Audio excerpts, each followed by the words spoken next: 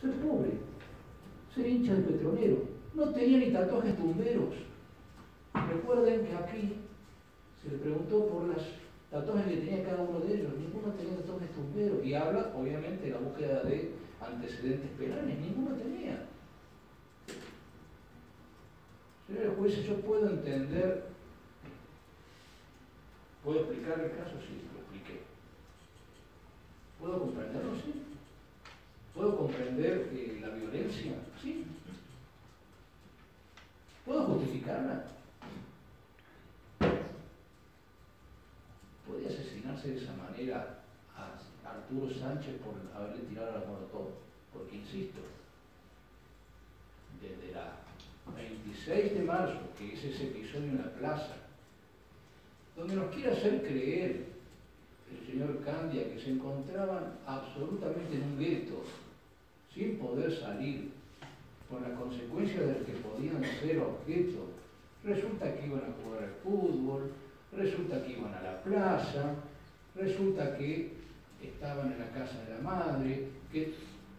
¿Cuál es la situación? A ver, para proceder como se procedió. Candia nunca olvidó, como dice acá, lo del Molotov. ¿Saben por qué no lo olvidó? ¿Cuántos balazos tiene Sánchez? Cuatro. ¿Eh? ¿Cuántos balazos? Cuatro. Uno directo, pero sin mortal para Prono, porque lo agarra de atrás. Otro para quitarle nada más la vida a Soto. Tenemos dos.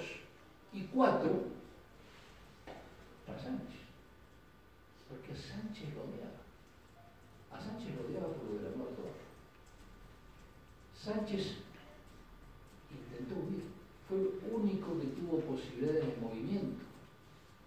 A Sánchez lo mató como si fuera lo que él decía a través de los distintos operadores que pudieron hablar acá, que compraba para matar chanchos.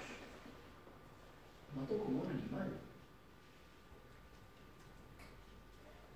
Sánchez se defendió, Sánchez se tiró bajo la mesa, a Sánchez lo inmovilizó de un tiro atravesándole la pierna. Se cubrió con la mano frente a un caño que lo está apuntando y puso su mano izquierda así para evitar el disparo y le voló esta de mano hizo un huecazo de este tamaño. Le disparó la cabeza cuando estaba tirado y esa bala que pasa por la cabeza es la que también hiere tangencialmente hacia arriba con ese fogonazo que le ven a Prono acá. Es la misma munición.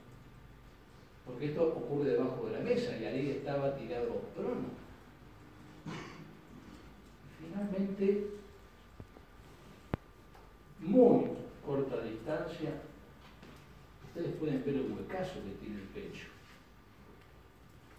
Le efectúa el disparo con ingreso del taco y de los perdigones adentro del cuerpo de este muchacho que mata de sangre